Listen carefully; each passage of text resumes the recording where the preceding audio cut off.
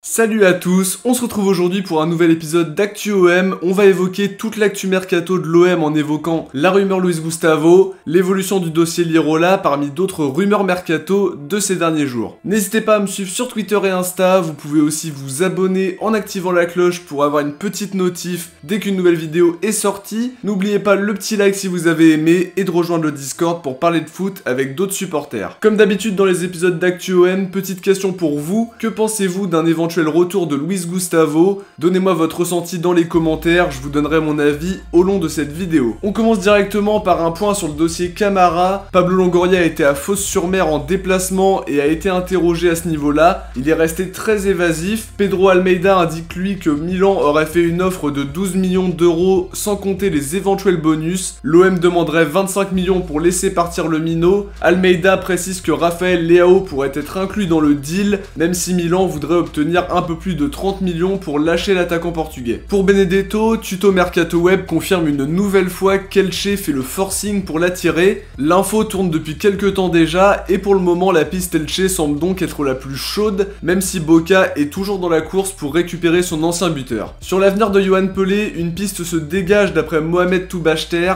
Le joueur pourrait rejoindre 3 qui vient d'être promu en Ligue 1. Il viendrait pour être le remplaçant de Gauthier Gallon, l'actuel titulaire. En cas d'un départ de Benedetto, il faudra aussi recruter un nouvel attaquant. On évoquait justement hier la piste Giovanni Simeone qui plaît énormément à Jorge Sampaoli. En Argentine, l'Intransirente évoque même un transfert sans que le joueur appartienne à 100% au club. Une opération comme celle de Mitroglou qui consiste en France à inclure un pourcentage à la revente pour faire baisser le coût du transfert, étant donné que la copropriété n'existe pas chez nous en foot, alors qu'elle était admise en Italie grâce à une plus grande souplesse juridique. Nouvel intérêt dans le sens des arrivées, l'OM s'intéresserait à Manu Garcia. C'est un joueur qu'on connaît en France puisqu'il avait joué à Toulouse il y a deux saisons. C'est un milieu offensif de 23 ans qui est sous contrat avec Riron, avec qui il a joué en D2 espagnol cette saison. L'OM fait partie des prétendants parmi d'autres clubs comme la Sociedad, le Betis ou encore Aston Villa. Pas sûr que le joueur soit une piste prioritaire pour Longoria qui s'intéresse à beaucoup de joueurs probablement plus intéressants. Au poste de latéral droit, l'OM piste Daniel Vass d'après la Cadena Ser. Pour ceux qui ne le connaîtraient pas, c'est un joueur danois de 32 ans qui est très expérimenté, international et qui compte plus de 500 matchs en professionnel. Il est estimé à 7 millions d'euros et il lui reste un an de contrat avec Valence. C'est un joueur que Longoria connaît bien pour avoir travaillé au club espagnol entre 2018 et 2019. D'après la source, le joueur aurait refusé un départ au Sporting Portugal après avoir appris l'intérêt de Marseille. Le Sporting était même carrément proche d'un accord avec Valence autour de 2 millions d'euros, une somme relativement sobre pour un joueur qui pourrait être une super doublure au poste de latéral droit et qui est aussi un très bon tireur de coups francs. On se souvient encore de son passage à Evian à l'époque qui avait été très remarqué. Dans le dossier Lirola, on a appris aujourd'hui le départ de Gennaro Gattuso qui devait devenir le nouvel entraîneur de la Fiorentina. L'ancien milieu de Milan voulait absolument conserver le latéral au sein du club. Un départ du coach italien pourrait rebattre les cartes alors qu'on sait que Lirola veut rester à l'OM et que la direction veut aussi le conserver absolument. Pour Almada, TNT Sport indique que Sergio Rapizarda, le président de Vélez, a affirmé n'avoir reçu aucune offre pour Almada. Le joueur est lui bien d'accord pour rejoindre l'OM, mais le dossier traîne un petit peu en longueur même si on sait que Longoria veut le recruter absolument. Ce serait d'ailleurs une excellente recrue au vu de son potentiel. Les clubs argentins sont en difficulté financière et devront vendre sans pouvoir être gourmands comme en temps normal. On va maintenant parler d'une rumeur qui a fait pas mal de bruit ces derniers jours. D'après Devrim Sengi, l'OM serait prêt à faire revenir Luis Gustavo au club. Le joueur serait trop cher en salaire pour Fenerbahce et l'OM ferait partie des prétendants. Pour donner mon avis sur cette rumeur, elle me paraît assez peu probable, puisque pour une année zéro, comme ils aiment le dire au club, le but n'est pas non plus de faire revenir nos anciens joueurs. Faut rappeler aussi que Luis Gustavo, il est plutôt jeune, son passage était plutôt bon à l'OM avec une très grosse saison 2017-2018. La saison d'après, c'était quand même beaucoup moins bien avec un replacement en défense centrale bien trop fréquent alors que ça devait être que pour dépanner à la base. Le joueur, lui, était parti parce qu'il se disait fatigué et que le projet ne lui convenait plus.